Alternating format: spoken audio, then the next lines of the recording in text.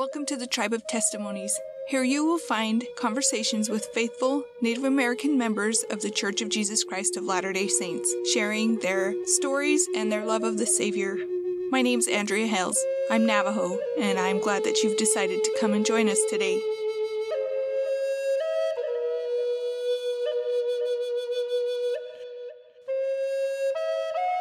My guest today is Mylo Fowler. I know that he is a photographer, and it was interesting. Before we started, I said a prayer for us, and I asked that there would be light. I don't remember the exact words that I said, but I mentioned something about that. And as we went on, he ended up talking about light I was just really grateful for that, for the witness of the Holy Ghost, and for the blessing of light. I hope you enjoy this conversation. I really did. I'm so glad that he was able to come. And here's Mylo.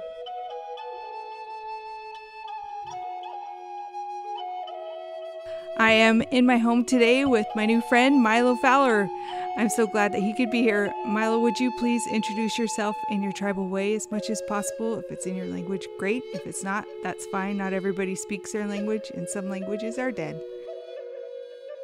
Oh, yate, ni bashichin honarani e do. Hoye that naga ado le a besha ge de e anti ke da hat wan sa to. Ya ado san shi e Lauren bija ado na kin khalo um ya Milo e da e shije e shalia yeah I um have always uh, introduced myself by saying uh, just like I saw my medicine men grandpas and and uh, my my grandmothers who were healers as well always introduced themselves by saying hello my uh, my relatives and my people. Um, and I always found that to be so beautiful. Um, there's no distinction. There's no like you know my family's over here and your family's over there or there's no fences or lines. It's really when we look under the you know, under the, the beautiful blanket of the universe and the stars, that's who we are, our relatives and, you know, my people, Shidane. Um, after that, I uh, continued with my clans. Um, our clans, uh, um, it's such a beautiful uh, system that allows us to know who we are related to. Um, you know, from my elders, my grandparents, I was always taught that we don't have cousins you know we we have brothers and sisters. Yeah. and that was just um, so beautiful to know. And and i love my clans because um, you know all of my uh, grandmas and grandpas my great grandma who we had i just had the phenomenal fortune that she lived right next door to us right That is yeah. cool. Yeah. So uh, they're all not here. Uh, they're as they would say in the world of great spirits. And so now when i take some photographs or go do some humanitarian work and I meet a grandma or grandpa, we introduce ourselves and just talk in Navajo and um, eventually at some point they'll they'll mention how we are related and it's just uh, for a moment um, I get to be called you know a grandson or you know a maternal one or a paternal one or a brother or you know just speaking with these elders and again it's like wow I have another grandma, I have another grandpa, uh, a paternal grandpa, a paternal grandma, and and uh, those relationships are just so fun and beautiful and to a degree sacred to have. You know, even though my real grandmas and grandpas aren't here, I I have others, um, and those teachings remind me of where I come from, what that means, and um, how to continue to carry myself because they're watching me. You know, um, and I mentioned that my mother is from a place called Hoye. In English, that would be Steamboat, Arizona.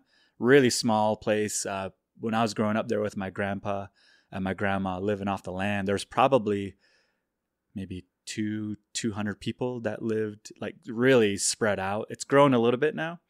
and my father's from uh, a place called uh, Beishagid, which is copper mine, and more specifically Jadahabatin, uh, you know, by Antelope uh, Pass. There's an old trail where antelope and deer used to migrate uh, from the Grand Canyon up higher in elevation, and we live right along there. So that's more on the western part of uh, the of Navajo land. And I uh, mentioned that we live here now, and uh, my wife, my partner, her name is Lauren, and we have two kids, um, a son and a daughter. So that is us, and um, the name that was given to me is Mylo, and that's what I am called. That's so great. I love it. Uh, now you've just shared a bunch of things that you already love about your heritage, but is there something else that you love about your heritage as it relates to the gospel of Jesus Christ that you would like to share? It can be pretty much anything. there's so much, you know. Um, there is there's so much that I had was already embracing or following. Um, I don't know if believing was was ever an option. It was it was really the way of life. I remember the very first time I learned about prayer was watching my grandma. I was a little kid, you know, um, watching her pray and uh, be so grateful for this little watermelon that we were about to eat. And her prayer was just so, so deep, had roots. You know, it wasn't just something that's recited or that we just repeat on a regular basis. It was very, her prayers were always unique. Mm-hmm. Her, they, they were never the same how she started and ended followed somewhat of a of a pattern. Everything in between was never the same. And it was just beautiful dialogue that she always had. And as a little kid, you know, before preschool, I was just like, Grandma, come on, finish the prayer. My mouth is salivating, right? Like right now, you know, thinking about that watermelon in the hot July weather or whenever it was we were, you know, and and she just she was just so grateful for the seeds, the dirt and the grains of sand, every storm that came by uh, to bless us with moisture so that that was a little bit less labor on our end to to have to bring the water to the watermelons or the corn or to the peaches or whatever we were growing, you know. And so um, th- they were also my very first example of, I would say, uh, fasting um, and and giving. Um, you know, we luckily for us we live very close to the only spring that was very uh, that was very good at providing for the community, and so it was always uh, interesting when uh, community members would come by and they would always knock on our door or politely ask, "Can we have some of your water?" And my grandma or my grandpa would always say, um, "You know, don dot You know, like the water really isn't ours. You know, we we oversee it we're lucky to live by it. Mm-hmm. And um, you know, people would go back there with their wagons or their trucks or their horses or whatever they were using to get some water from the spring there. And then on their way back out, my grandma would see you could see almost to the well from the front little porch that the little deck that they had. And she would uh, send me out to the field. We had about 12 acres that we grew, where we grew everything that we ate. Um, and she would you know give me a little box or a grocery bag or something um, and ask me to get you know the zucchini squash a little pumpkin or you know honeydew uh, corn an ear or two you know and bring it back. And every time i went out um, i was like oh man tonight's dinner is going to taste so good you know? Like we're going to have a, an awesome amount of vegetables and fruit and you know go get some chicken eggs or whatever you know? And I'd bring it back, and then she'd say, "Yeah, yeah, she, you You know, thank you, my child." And then, as this family that's now exiting with water, she would take that bag or box or whatever, and she'd wave them down, etc., etc. Wait, wait, and then give that to them. I love that. and uh, I, I uh, just never forgot those early childhood lessons of, you know, someone just that was so concerned about giving, that was so um, interested in making sure people were well off, that they would be better because of the blessings that we had. And and I saw this happen multiple times, multiple times until finally I had the courage to ask grandma like literally why are we giving away the farm, you know? I work out there, it's hard. I cut myself and I'm sweaty, I'm sticky.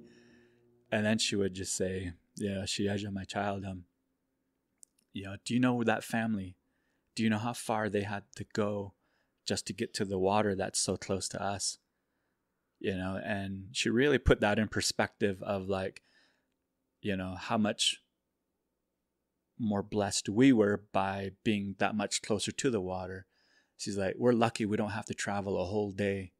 We're lucky that we have to, you know, just go a little ways and there we are.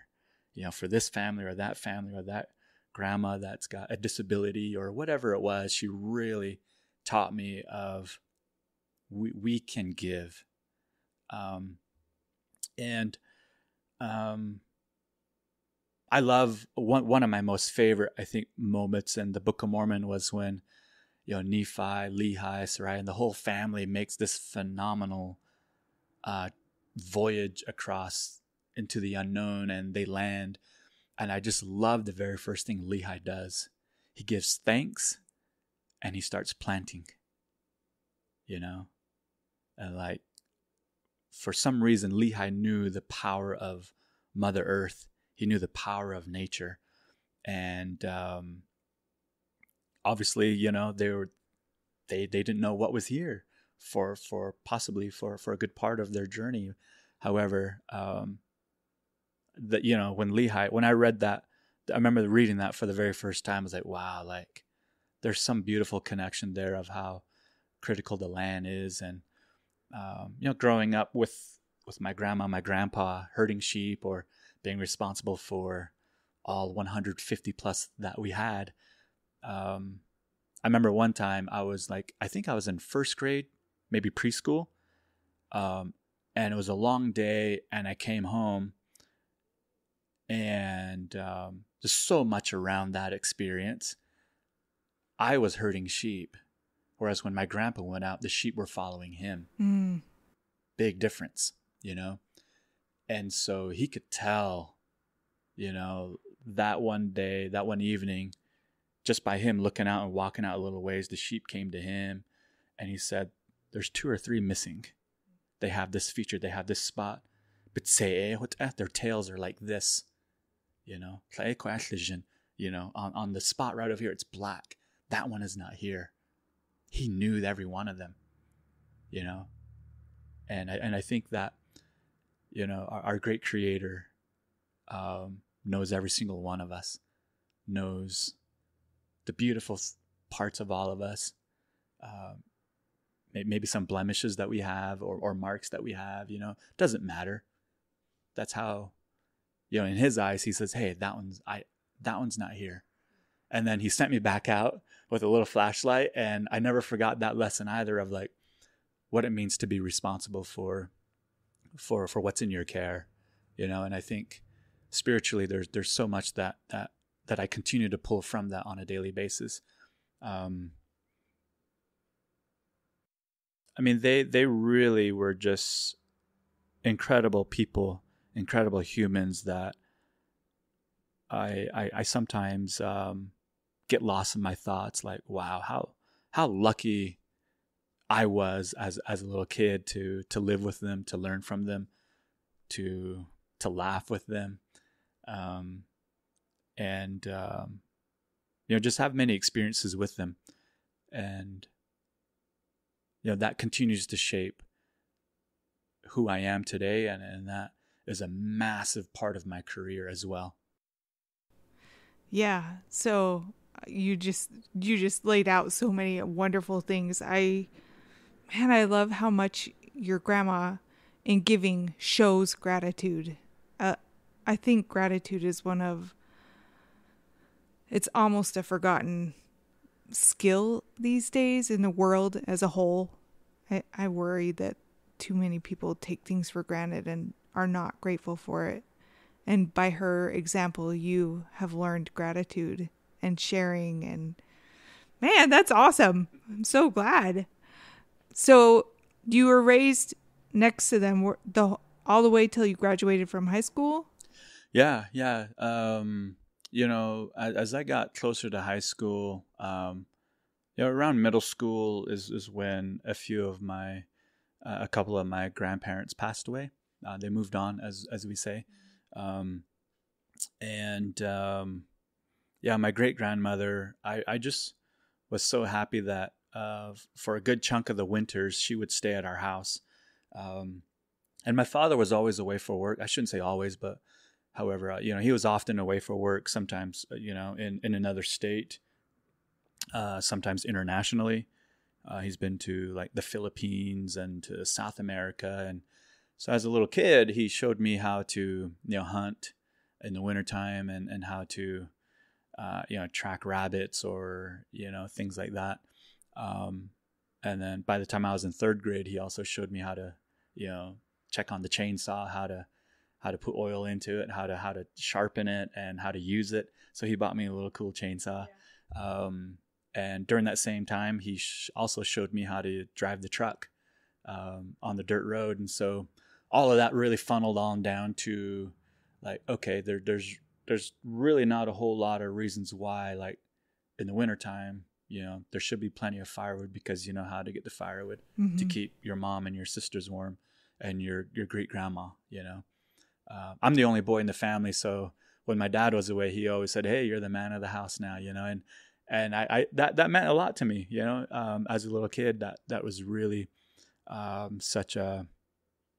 I'm always I, as I look back on that, like I can't thank my dad enough for that responsibility, and um, so I I kind of grew up pretty fast, you know, um, and with my grandma, my great grandma, Grandma Sarah, um, she she taught me so much as well, and I would say the greatest lesson that she gave me was you know one time we were outside talking about plants and seasons um, she delivered my dad in september mm-hmm. um, however on his birth certificate it shows that he was born in april because the number four and the number nine they look very similar yeah and so the funny thing is too is like I know exactly where my dad, the tree that he was born under. Yeah. However, on his birth certificate, it showed that he was born at a hospital. What?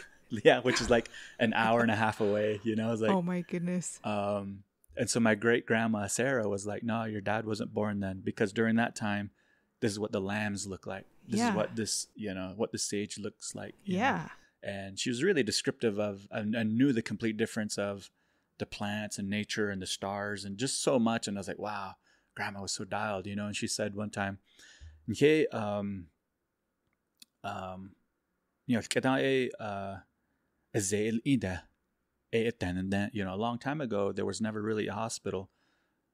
And she basically said, you know, we had to make words, new words for that, mm-hmm. for different things. Yeah. You know, not just hospital, but like, um, you know, like rings or you know vehicles and parts of vehicles and now our language is continuing to expand so that we can you know describe a state or another country um, and um, you know she was talking about the plants and how to mix certain plants um, and then you know she said you know that that's our medicine this has always been our medicine out here in nature nature's beautiful and powerful and she said, We never had a word for hospital and we made it. However, and she said, and we are also each other's medicine. Uh, you know, don't don't ever forget that. You know, and as as you talk about gratitude, um, you know, often how much how blessed are we when we really analyze what comes into our lives? Um, I, I think that would just be an overwhelming, such an overwhelming task to really identify, like, wow, I'm grateful for water. I'm grateful for friends. I'm grateful for so many different things, you know. Um, and I think at the same time, we have those gifts and blessings that can help somebody else out, you know. And my grandma was always, my grandpa too, he's always, they were always like, there's something there's a reason why you were born there's a reason why you were created there's something that only you possess only you have that out of everybody that's ever lived and that will live and everybody has that as well and they just said hashit ao somehow um, that's going to help somebody else and you know make sure you're you, are you are able to help people and so that's for me, that's how I show my gratitude to my heavenly Father is that like I know I'm really good at photography. I know uh, uh, you know there's certain gifts that I have that are just like second nature for me. Yeah. You know, cooking? Probably not that great, or you know like uh, fixing a piano? That's not my thing, right? Um, singing? Absolutely horrible you know? But you know if there's a storm and somebody's broke down on the side of the road and you know their hood's up along the freeway i'm your guy you know? In a very humble way in a very brave way like i know i can be this person's you know be there to help them. And i think all of us have that gift as well to where when that kind of help is needed i hope we step step out and say hey i can help you with that Yeah. Well, man, I love that. I totally agree. I was just thinking about gifts of the spirit um because of um Jeff Young's episode that I just posted um and how our gifts of the spirit don't have to be the ones listed in the scriptures, but they can be stopping on the side of the road to help somebody. They can be it those are actually gifts of the spirit. So, I thanks for bringing that up.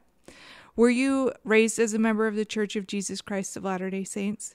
Uh no, no, I wasn't. It, it's it happened when I was um, about 15 years old. Um, back then in Arizona, I forget how old you could be to drive. Um, you know, by the time I was 15, I mean, I had already So many miles. yeah, a lot of miles uh, on on the res roads, you know, and had re- you know repaired a motor, transmission, like really took an engine apart with my dad and put it all back together. And he really wanted me to be aware of that. So if he was like in some other state or country, I could identify the source of the problem, and then he's like, "Yeah, you just fix it like this," you know. Um, and so it was one one evening. Uh, it was in February. Um, I was driving to Page to haul water for our cows and horses, my grandpa's cows and horses, and um, you know, in the evening time there, around four or five o'clock, it's starting to get dark. You know, now it's it gets dark around like eight o'clock still. You know, and um, once from our house to the highway, it's two miles right on the dot. And once you get on the highway, there's a, a mile and a quarter. It's just a straightaway, so there's like no turns, and you can see both ways really easily. I got on the highway, and, and up ahead, I, I was like, did they put some new like milepost signs or new road signs along the highway? Because like something's different a mile down the road. And I got closer and closer, and it was these two um, two two guys, young guys, in a suit. It's February, so it's kind of cold still. And um, I roll my window down with the hand crank and slowly pull over. I said, "Hey, did you guys break down? Like, uh, where are you guys trying to go?" They're like, "Oh, no, we didn't break down. We're, we're just hitchhiking, and we just got dropped off right here, and uh, we're we're on our way to Page." And I was like, "All right, cool. Well, um, you're walking the right way, so we'll see you later." and I took off just like you know a hundred yards, and they're just running, waving their hands. And I turned around. I was like, "I'm just messing around with you. I'll, I'll give you guys a ride to town." I mean, that's 20, 20, 21 miles away from town, and they jumped in, and um, you know, they introduced themselves as Elder um, Elder Landon and Elder Ford. Um, I was driving a Chevy truck, and I said, "Oh, Elder Ford, that's not it's not looking good for you, buddy." uh, and we, we were just laughing, and the whole time, I mean, we we um, just talked about everything. Um, I, I think, interestingly, a lot of people would say they would be they they would be bad missionaries. They were the best missionaries. Uh, we didn't talk once about the gospel. You know, we talked about you know the horses, school, um, cross country, um, you know, sports, family. We talked about everything but the gospel, and I and um, and I think for me that as I look back on it now, that was just so natural. It wasn't so robotic, so scripted. You know, like they're humans. They they have they have a life. They have interests. They um, I don't want to say I don't want to say they're normal people. You know, they're they're not just like rinse and repeat Jesus twenty four seven. You know, um, so I take them to town. I drop them off, and Um, and I remember I went to the first grocery store and I, I bought like bread. And before I left our house, I went to my aunt and my uncle's homes.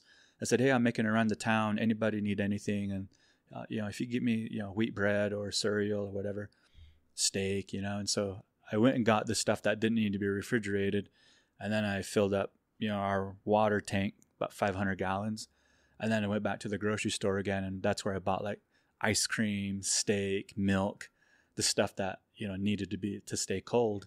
Threw that in a little ice chest that we had. And I went home, um, dropped off the meat and, um, you know, ice cream. Uh, and then I went to the horse corral and then unloaded all the water. Um, and then I got back home. By this time, it was like eight o'clock, sun's down, it's dark, you know, and I was grabbing the grocery bags uh, of like the cereal and you know like crackers and things like that. And then there was a book there, and I, I knew instantly that was not my book because at the time I hated reading. Uh-huh. I hated reading anything. So I was like, ah, this ain't my book. Yeah. I was like, oh, maybe it's maybe my mom, my dad, my sisters, one of them. And so I just brought it in, um, put everything away, and then the next day I asked, like, hey, did anybody leave a book in the truck? You know, and they're like, oh, no. So like, all right, well, this is interesting. And so um, I hung on. I just hung on to the book for a while.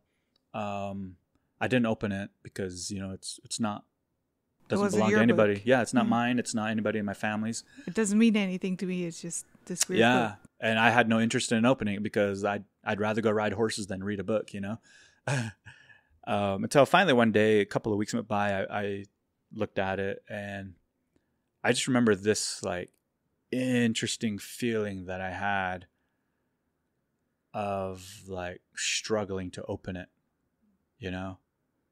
It was like something didn't want me to to see what was inside there you know? And I thought I was like, you know what, this isn't my book, doesn't belong to me. And I said, you know, let me, I'll just open the first part of it and maybe, because in, in a lot of like books, says this book belongs to, you know, like a little blank line. So maybe there's one of those in there and see whose name, or maybe there's an address or uh, maybe maybe a home phone number if if somebody had that, you know, and there wasn't. Um, and um, I was reading the introduction. I was like, "What's this book about?" And said, "Oh, here's an introduction." You know, I think there's nine or ten paragraphs. I don't really remember right now. However, I do remember one thing I never forgot was reading in the third paragraph. It said, "It's different now." The scriptures that I had before they were changed back then, it said, "After thousands of years, all were destroyed except the Lamanites, who are the principal ancestors of the American Indians." and that really hit me because um, in my hometown in Page, um, Arizona, northern part of Arizona, it's right outside of Lake Powell.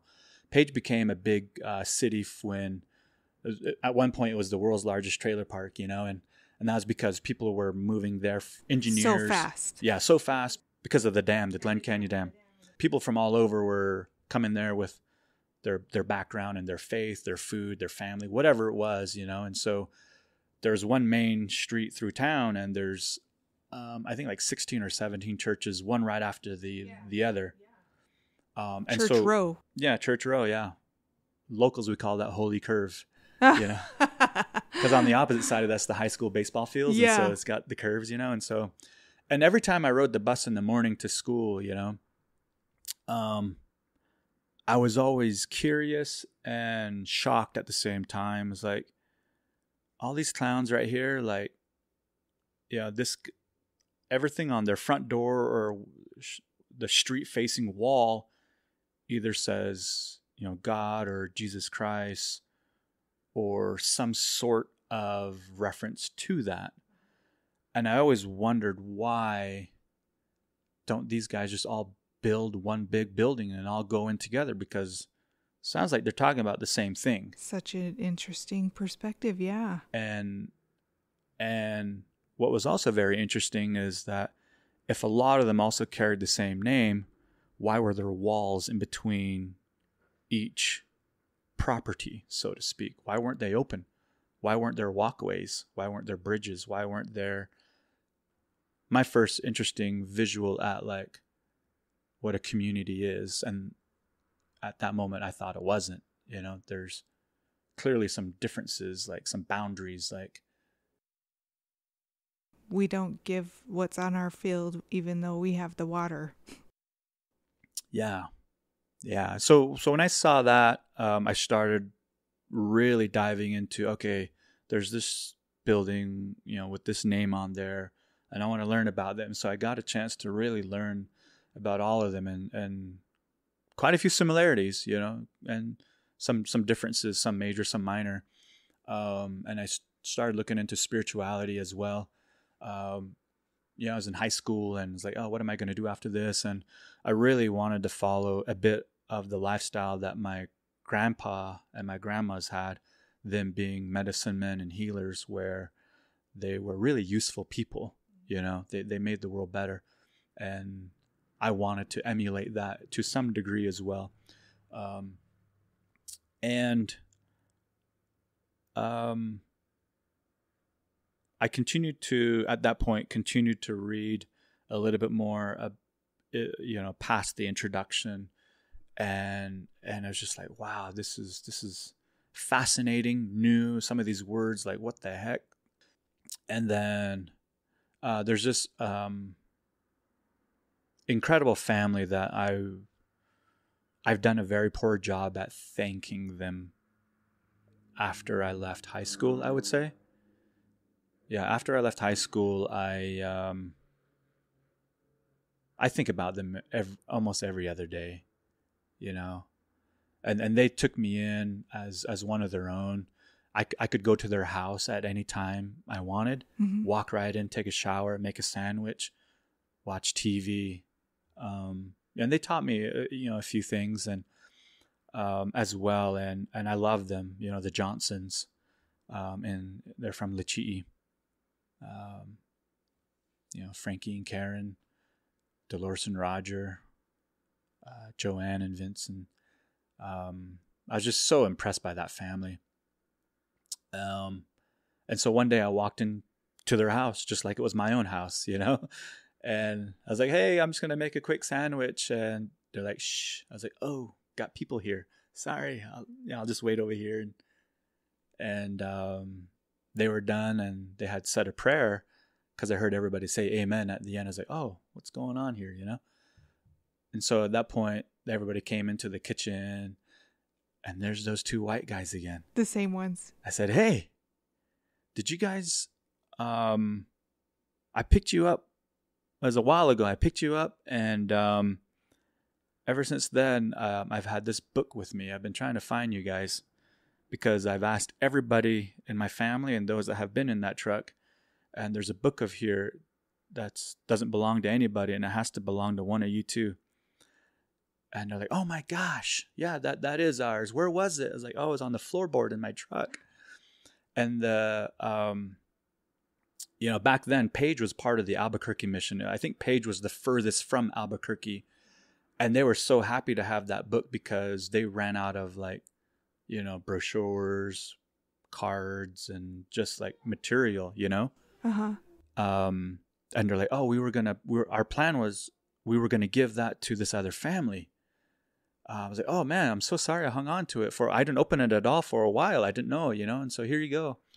And I just remember giving it to them. I was like, well, uh, they're like, you know, thanks for taking care of it for us. And like, all right, yeah. I was like, well, I've, I've got a few questions. Um, you know, I, I started reading it and um, it's it's unique of an experience, you know, because I've been I, I've been through quite a few ceremonies, you know, through like the Native American church, through um, the Navajo, you know, tradition as well, and um, you know, quite quite a few sacred spiritual ones, you know, and I said, you know, when whenever I get into that book, there's just something interesting and unique that I feel about it.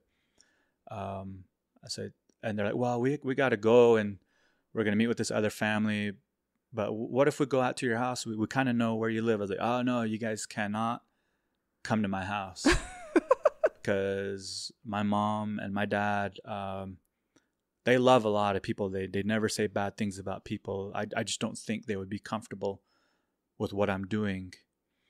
Um, and so then that's when I asked um, Frankie and Karen, um, you know, obviously these guys are here. They know where you live. Like, could I meet them here after like cross country practice or whenever we can? And they're like, oh yeah, absolutely. You know, and I just remember them saying like, but you need you need to tell your mom and your dad that this is happening.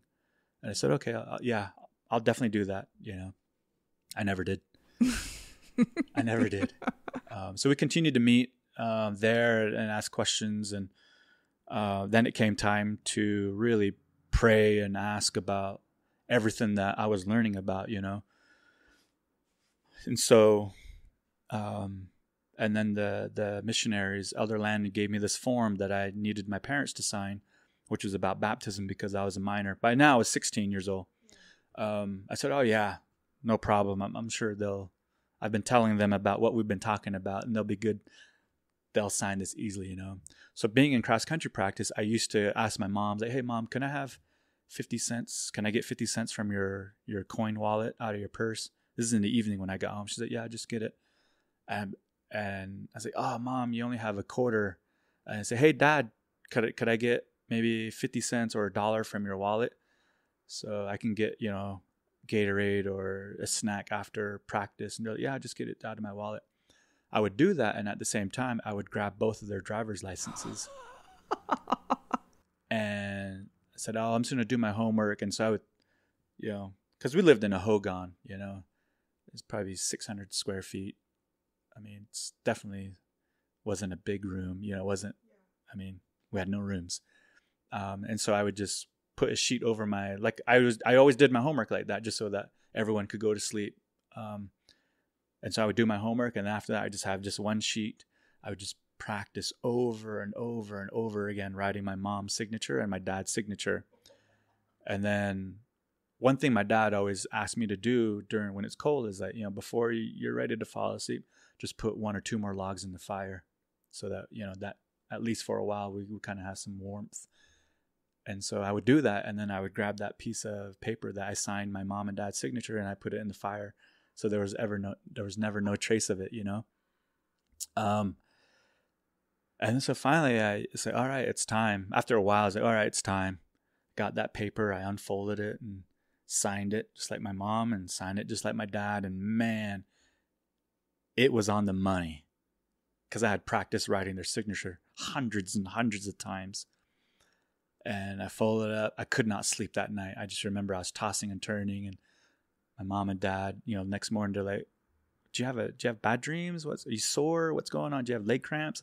It's like, ah, no, I just got this big thing coming up tomorrow. I'm just really worried about it.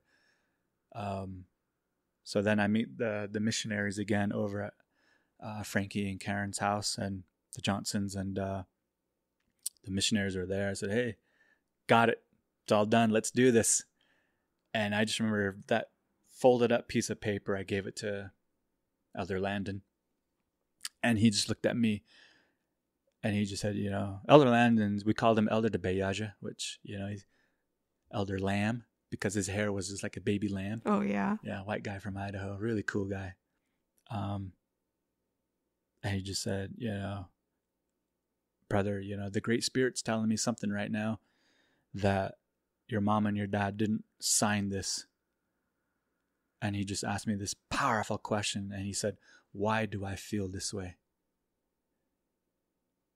And I just remember just looking at him. I was like, and I, I remember asking him, like, How did you know? And he said, he then said the very next thing, which I never forgot, was, you know, when you go on your mission, the Great Spirit's gonna help you a lot. You know, this is how the Great Spirit is helping me right now. And and then he's like, I, I, I really believe your mom and your dad didn't sign this. Am I right? And I was like, Yeah, you're right. And then he's like, I appreciate your bravery. I really appreciate what you want to do, but we can't do it this way. And he said, We need to go revisit some commandments of honoring your mom and your dad, you know? And we laughed. And I was like, All right, you know? And so after that, I talked to my mom and my dad. And about a month prior to all of this, my dad, he would always teach me just like my grandpa did, you know, my grandmas did. They'd take me out. And he taught me on this hill. Um, I don't, um, remember uh, when it was. However, the thing I remember most was my dad saying, "Hey, you're you're a teenager now. Pretty soon you're going to be out of high school, and you're going to need to start making some big decisions. And with like you're running, if you want to take that into college and get scholarships, there's a lot you got to commit to. My dad was a bull rider, a really good one too. Him and his brother Stanley, they were really incredible. And so is that you know sometimes you, you get bucked off and it's hard. Sometimes you land on your feet. Other times you, you you land in a way that you weren't ready for, and that's life. What matters most is you get back up and, and you get on to the next one, you know. He just gave me so much advice about decision making and uh, which paths to take, you know, and and he said, you know, we've been here talking for about an hour or so. We saw some hawks go by and you know, they're spiritual creatures too and and my dad's like, you know, but never once have you looked at your feet. Sometimes in life, you you just got to look at where you're standing and realize that you might feel like you're in quicksand. You might feel like you're stuck in the mud. You might feel like you're in two or three feet of snow, and and you you're trying to get to a place, and you know all you can do at that time is just take that next step, which was a beautiful lesson. You know that just take one step, and you're that much closer how cool is that, you know? And then he said, however, where we're standing right now, you you you haven't looked at where you're standing because if you did, and I just remember my dad looking out into the distance, and he said, right in front of your right foot, you know, about seven or eight inches to the right, there's an arrowhead. And I looked down at my feet, and sure enough, there was an arrowhead right there. Never touched, never moved. You can tell it was just you know not cemented like concrete is but the dirt was just like preserving it holding it in place. He didn't come down to touch it or pick it up. I didn't either. And he said you're in, throughout your life you're going to find these times where certain things are going to point you in the direction you ought to go. You know? And so when when i went back home after talking with the missionaries um, after they discovered that I forged my mom and my dad's signature, I brought that conversation back up to my mom and my dad, especially my dad. I said, Dad, do you remember just very recently we went to the hill and you're talking about where we stand, the paths we take, getting back up. And also sometimes we get these pointers that guide us. I was like, for me, that's how I feel. This is one of those decisions I need to make. So whether you sign this paper right now or not, you know, when I when I turn 18, I really feel like for some reason this is my path. I don't know why. I don't know all the answers. But th- however, one thing I do know is that this is my way. And uh, and it, it, it, it this is it. Dad, can you please sign this paper? Um, and so he said, sure, yeah, we'll do it. And they both signed it. Um, and I, and then they're like, it says, you know, when, when's your baptism day? I was like, oh, I want that to be around, um, Father's Day. Cause my mom's birthday is around Father's Day. I said, you know, this is a, my mom was a single mom for, for quite some time. And I can't begin to say much about her because I break down. Um, and then I wanted to correlate this new path with with with her, you know, in mind as well. And so they said, you know, we'll we'll we'll be at your baptism, and after that, then we got to go to Steamboat to your grandma's house to to help out with, you know, the the the farm, the crops. This is in June. I said, okay, yeah, we can do that, no problem. And then I said, but I'm gonna be at my friend's house because of practice, and Friday night I'll come back first thing Saturday morning. Then we can go get baptized, and then after that we'll leave. Um, I get back home and there's a note that said, "Hey, we already left," you know, and so, but, but I mean, by this time, you know, being in high school, um, I was already, you know, eh, uh, going to seminary. I, I would lie to go to seminary, you know, with my my English classes or my like maybe geology or my science class said, "Hey, I got to go to the library. I got to go print off this one thing It was part of my report or whatever." And had all my homework done, and I'd get the pass to leave, and I'd just basically go to seminary during that time because it wasn't part of my schedule. Um, and uh, school for us on Wednesdays started at about nine fifteen, I think it was, instead of eight o'clock. And so, in the early mornings, I would ride my bike to school. Uh, I would ride my bike to church, and one way was like twenty two miles. Um, and the truck keys weren't there, and so I was like, "All right, well, this is interesting. Like, I, I have no excuses, you know.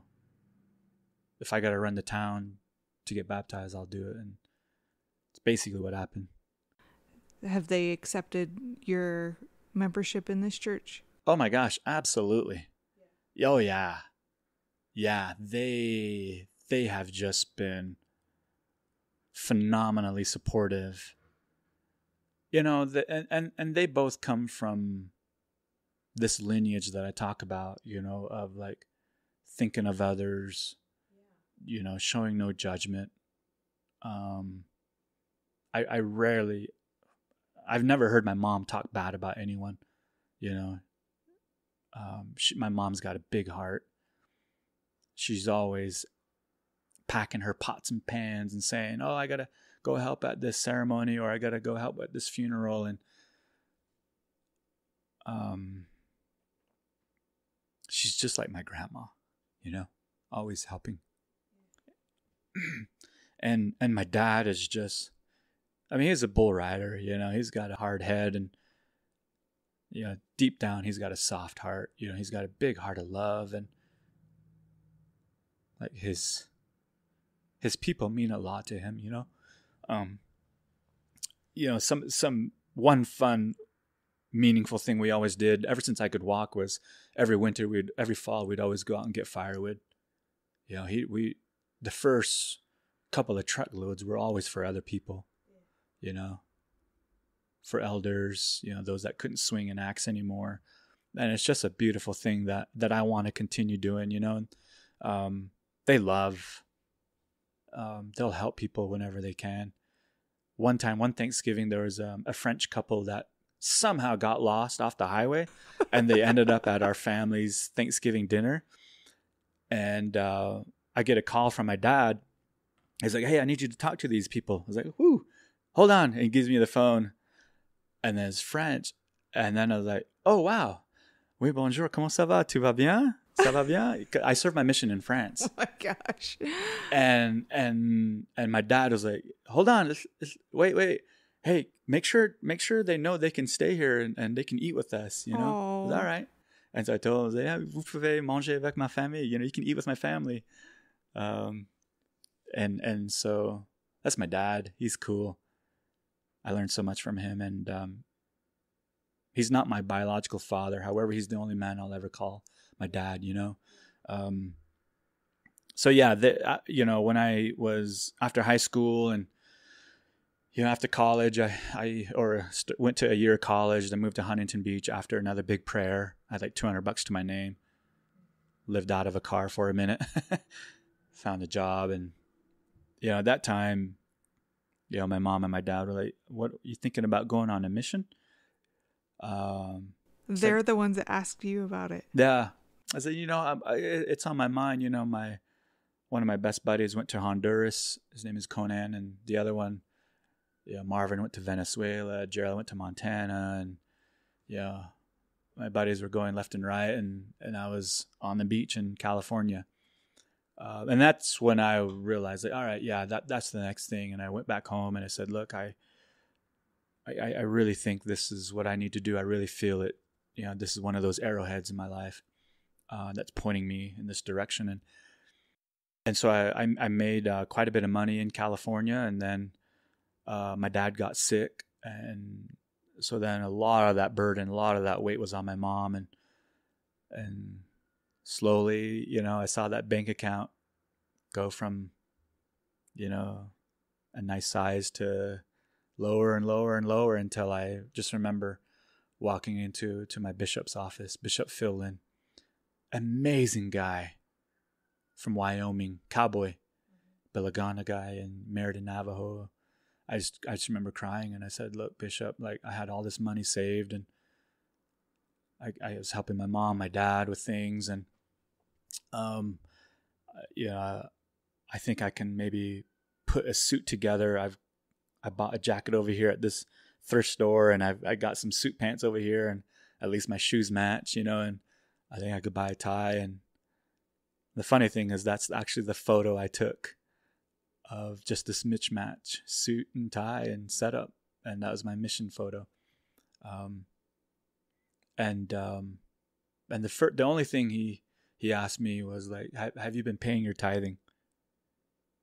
I, I said, "Yeah, Bishop, I've been paying that. I, I've been given more than than I need to." And and then he just said beautifully and powerfully, very stern. He said, "Then, then what are you afraid of?" I was like, was like "The great Creator does he not say that he'll open, you know, the windows of heaven? And then we went to the scriptures and he had me read it. He said, What does it say there? Like, Does he say he's going to open, you know, a car door? Does he say he's going to open, you know, something small, like a little window? Is that, do you know how big heaven is? I was like, no, I don't. He's like, I don't, I don't know if anybody knows, but He's like, I can tell you, it's not a small house. That place is packed, you know, with with a lot. And when when the Creator says he he'll open it up, he'll open it up. So you got nothing to worry about, you know. Just keep doing what you're doing, and and um, he just gave me one of his stern, you know, he he had like calluses and just worn leather hands. Um, and he just looked me with just like the kindest eyes with with all the confidence anybody would ever want to have to approach any anything hard or whatever, you know. And he said, just wait. And then he had me go out. And then next week, the week after that was fast and testimony meeting. Um, I bore my testimony, and after that, this couple came up and they said, Hey, we're from Salt Lake City, Utah the other night, my wife and I, we were praying, and the Spirit came into our room, and basically all we were told was to start heading south, start driving south. Um, and so they like, oh, this is weird. What what's this about? You know, this doesn't happen. What? Leave our home? And so they drove south, started driving south, and they said every little town we got to, we prayed like, is this where we need to go? This is where we need to go. And Sometimes the prayers were get off the freeway here. Which way? Just follow the voice, you know, and follow the feelings, and the promptings, and and they did. And a few days later, they ended up in my home ward, and and then they're like, "You're you're who we need to help."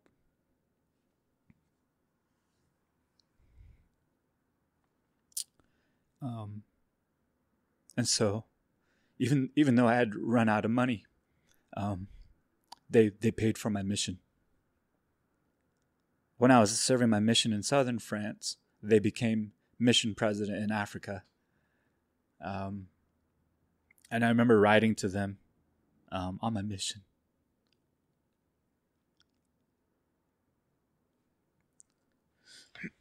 So so when that happened, I was like, you know, I just thought about my grandma you know, always giving away corn, watermelon, peaches, chicken, a lamb, a goat, whatever we had, you know.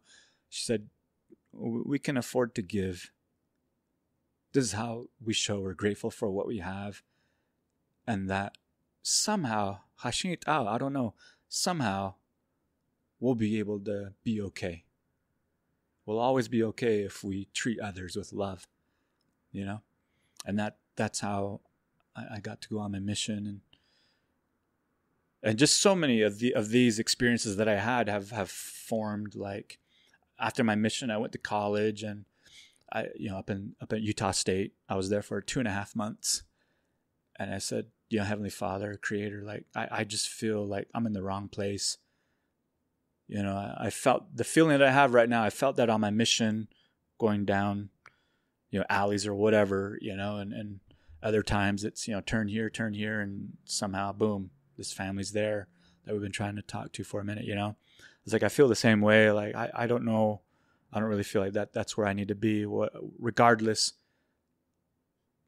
give me give me a direction so that I can at least do what you want me to do and and help people. And I just remember praying just so earnestly and wanting, you know.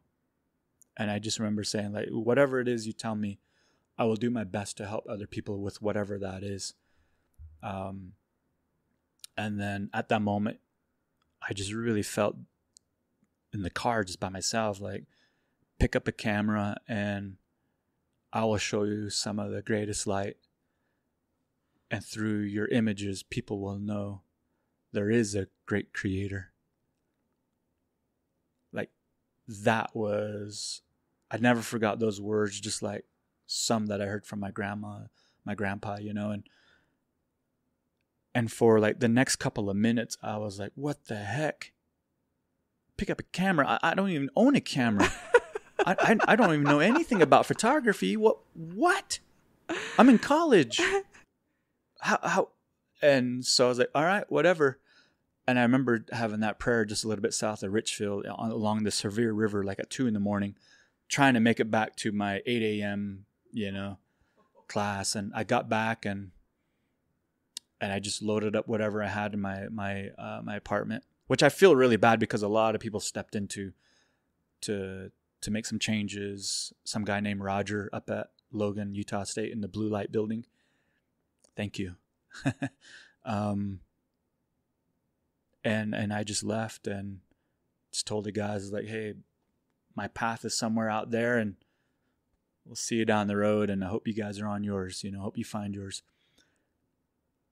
now I'm, you know, one of very few indigenous full time photographers, and um, I contribute to National Geographic, and you know, just been on a lot of really amazing assignments to like Iceland and Alaska, and just came back from one, uh, you know, all around the Grand Canyon uh, about land that is important to indigenous tribes, indigenous people in that area, and um, and that has opened so many doors to give back you know like it started by selling some of my photographs. I was like, you know? I know this grandma out in Chinle, Arizona. I know this single mom that's in Many Farms. I know this other, you know, single dad that's got, you know, seven kids under the same house. Three are his. The others are, you know, his his nieces and nephews that he's trying to help out and so from then it was like you know I'm, i want to help power these homes because i know what it's like to grow up without electricity to do your homework with a flashlight under a sheet and you fall behind your grades suffer and that can affect you you know emotionally mentally and um, with sports as well you know from then on I just focused on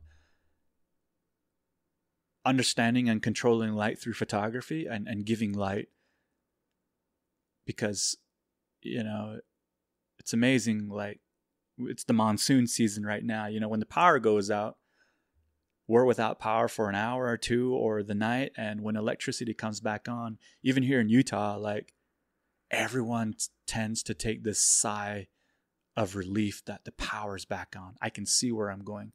It's almost the same thing back home when you know you install a solar panel a battery and some lights and it's dark and somebody hits the switch and their home lights up you know i think in so many ways heavenly father's done that for me when i felt like i was in a i was wandering in darkness whether that's because of the decisions that i had made or just because that's part of life being six feet above ground you know?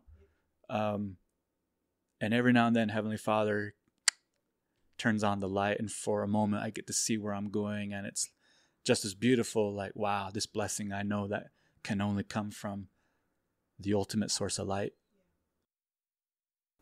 I'm I'm just blown away by all the things that you've just taught. But I do have one final question. What does it mean to you to know that you belong to the tribe of Israel? That, that's a great question. Um I, I think the key word in that for me is belong. When you when you know you belong to a family, when you know you're you know, I, I've seen little lambs get lost or I wasn't, you know, taking care of them enough and, and they come back into the fold. They start bouncing around or bucking around, you know, and they're they're you can visually see they're they're back home, you know. They're part of this community. They feel differently. For me, what does it mean to know I belong to the tribe of Israel? It knows that it, may, it has me feel like I know I belong to something that is greater than myself. I belong to a creation. I belong to a community. And it goes back to the very same thing that I said at the beginning of this conversation is Yat Eshik E Hello, my relatives and my people. Love it. Thank you so much for your time. Thank you for being here. Absolutely. Today in sacrament meeting, I listened to 12 young men sing a song. It's called If the Savior Stood Beside Me by Sally DeFord. And um, these young men sing verses of this song that I have never heard before. And so I asked the pianist if I could get a copy of those verses. She said that Sally DeFord did write these extra verses. I've heard my my primary kids sing it, but I have never heard these. So I want to share them to you today with you today because they are really powerful. I don't know why we don't have them in the children's songbook because these are pretty awesome. So the ones that are eh, I'm going to start with these. If the Savior stood beside me, would I do the things I do? Would I think of his commandments and try harder to be true? Would I follow his example? Would I live more righteously if I could see see the Savior standing nigh, watching over me? If the Savior stood beside me, would I say the things I say? Would my words be true and kind if he were never far away? Would I try to share the gospel? Would I speak more reverently if I could see the Savior standing nigh, watching over me? Now, those two are are in the children's songbook. The the next three are not. So here they are. If the Savior stood beside me, would I often kneel to pray? Would I listen to the Spirit's voice and hasten to obey? Would I count my many blessings? Would I praise Him gratefully if I could see the Savior standing nigh, watching over me? If the Savior stood beside me, would I comfort those in need? Would I try to show the Savior's love in every word and deed? Would I give to those who hunger? Would I serve more willingly if I could see the Savior standing nigh, watching over me? If the Savior stood beside me, would my thoughts be clean and pure? Would his presence give me strength and hope and courage to endure? Would his counsel give my action guide my actions? Would I choose more worthily if I could see the Savior standing nigh watching over me me? And then this is the third verse that's in the in the children's songbook. He is always near me, though I do not see him there, and because he loves me dearly, I am in his watchful care. So I'll be the kind of person that I know I'd like to be if I could see the Savior standing nigh watching over me. I have been listening to podcasts and thinking about the atonement a lot this week. And those middle verses, those new ones, really, really meant something to me today. I hope that they mean something to you, and I hope you have a super wonderful awesome day. Tribe of Testimonies is not sponsored by the Church of Jesus Christ of Latter day Saints. The music is a traditional hymn, Come Thou Fount of Every Blessing, arranged and performed by Kyle Forsyth. I would love to hear from you. I would love to hear how this podcast is affecting you. And I'm always looking for guests. If you or someone you know would be a great guest, you can reach me at tribeoftestimonies at gmail.com.